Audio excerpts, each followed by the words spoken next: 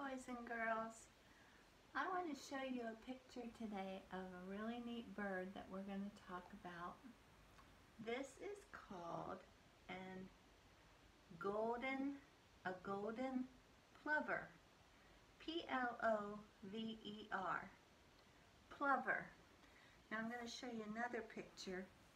This is what they look like when they get their uh, colors in the springtime. Notice the dark face, the white on the body. I want to tell you a story about this little bird. Well, not really a story, it's facts about this little bird and then um, discuss how it applies to us and to our God who cares. These birds are very small. They're only about four to eight ounces in size. Now to compare that, if you get a uh, carton, little carton of milk, uh, one of those small cartons, or like a juice box, that's about the size of those, okay? The golden plover is a very interesting little bird because every year it makes a 6,000 mile round trip migration from Hawaii to Alaska and back to Hawaii. The bird lives in Hawaii most of the year, but when it starts getting uh, springtime, they go to Alaska and spend a couple months there nesting and hatching their eggs. These birds, you might think, well, what's so great about that? A 6,000 mile migration trip is over the ocean. It's all over the Pacific Ocean. And they don't have any maps. They don't have any radar or GPS systems, somebody telling them bad weather's coming, uh, it's getting dark, you need to stop for the night, there's a storm coming at sea. No, these little birds persevere and they fly the entire flight without stopping. This is really interesting. Scientists, it baffles them because they shouldn't really be able to do that because of their size and um, the distance and the conditions that they're flying through. But God made them and instinctively they have instincts um, God put in them that they know where they're going. Now, this is really neat. Let me tell you a few things about this. When they fly to Alaska and they um, lay their eggs, and then their eggs hatch, right from the beginning, after the baby bird comes out of the egg, the parents do not feed the bird. The bird has to fend for itself and find insects.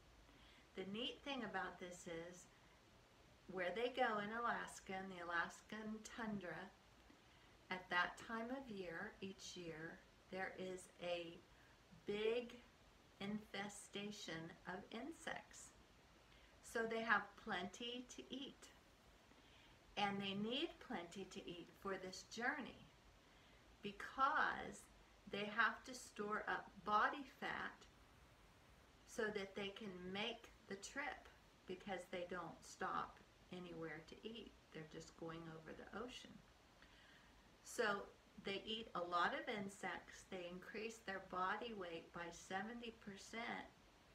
Their wings grow stronger. And then they use up that body fat as they fly. Isn't that something? Now you might think this is bad, but the parent birds go off and leave the baby birds for about a month. They leave Alaska early and fly to Hawaii. Then a month later, without ever having done it before, the baby birds all get together and they take off and they make the flight to Alaska. Amazing, isn't it? In Luke, God tells us through Jesus, Jesus said, Not a sparrow falls to the ground, but your heavenly Father knows. God cares for even a sparrow, even a little golden plover. He instinctively gives them their own GPS where they know where to go, where they're flying. And that trip, when they're going, they will flap their wings over a half million times. It would take someone uh, two and a half days if they were uh, measuring the, the bird's flight. That's how long it would take for them to make that trip. Right from the start, they go to the exact same spot and they return to the same spot. Who told them to do that? Who shows them the way? God put it in them so that they know. And I think this is neat because it, we can compare their perseverance um, to us because God has told us that He has prepared a home for us. We've never been there. We don't know the directions. We don't know where it is but he knows the way. Listen to 1 Corinthians 2 9. This is what Scripture means when they say, No eye has seen, no ear has heard, and no mind has imagined what God has prepared for those who love Him. We can't even imagine how wonderful it's going to be like. And that takes me into the next part of our little video today, we're going to read a book called I Can Only Imagine. You've probably heard this song on the radio if uh, you listen to Christian radio stations. It was a popular song for a long, long time. Then it came out in a movie and it got popular again. But this is um, a children's book about this song by Bart Millard of the group MercyMe. I can only imagine a friendship with Jesus now and forever.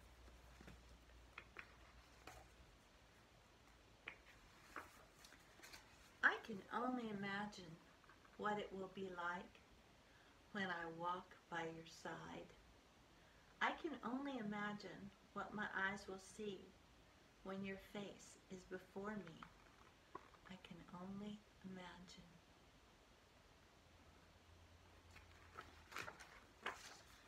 the more I imagine, the more I wish I knew.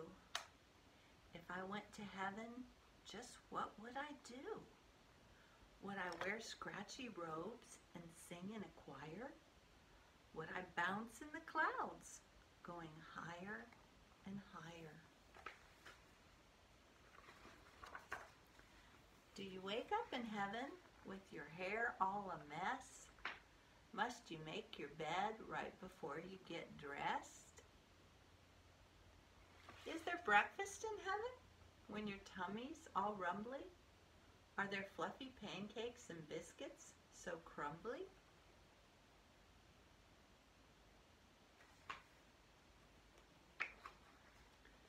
Do the houses in heaven have big rooms and spaces? Did God think of me when he built all those places? Like basketball courts, a swing, a slide, or a super cool playhouse with doors on two sides.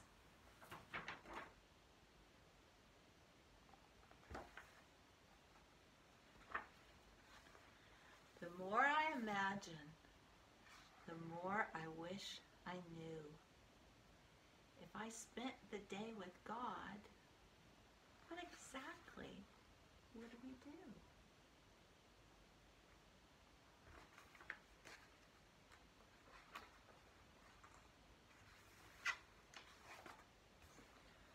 Jesus play with me?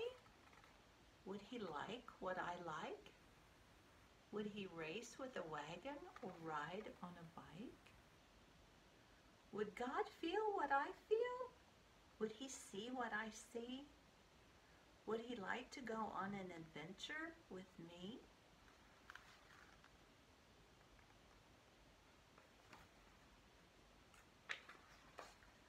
I can only imagine what God thinks is fun.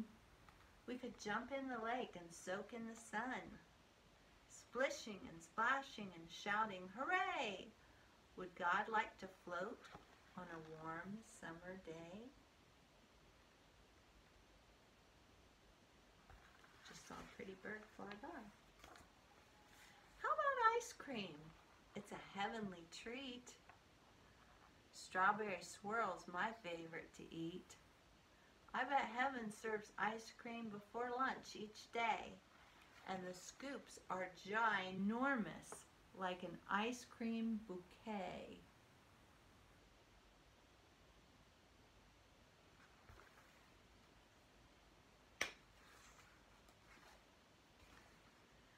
Why, maybe in heaven God loves to play ball. Everyone gets chosen. There's room for us all. Throwing and catching, learning to slide. When the game's done, we'd all give high fives.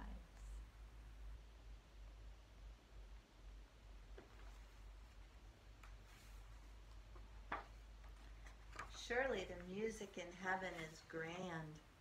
We'll sit around the fire, make our own band. The sound is so pretty, we'll all sing along. I wonder the name of God's favorite song.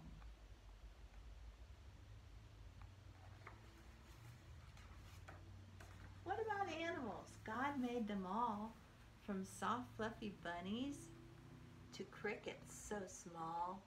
My big dog Lulu's the greatest one yet. Are puppies God's favorite? Does God have a pet?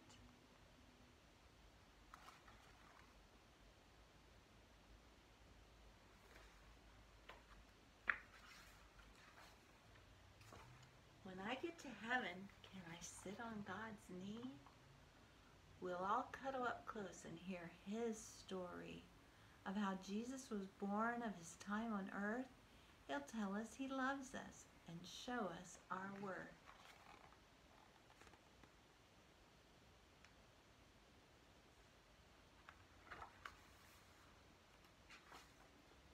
Thank you, dear God, for keeping me close. Being with you is what I like most. We know you, we love you, we'll be there together. Each day we'll be happy in heaven forever. I'm sure of one thing that will always be true. I don't have to wait to spend time with you. You're here in my heart. Your spirit will guide. You'll never leave me. You'll stay by my side.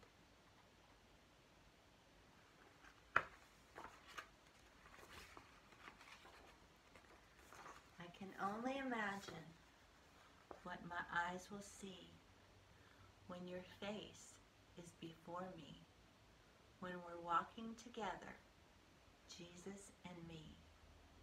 I can only imagine.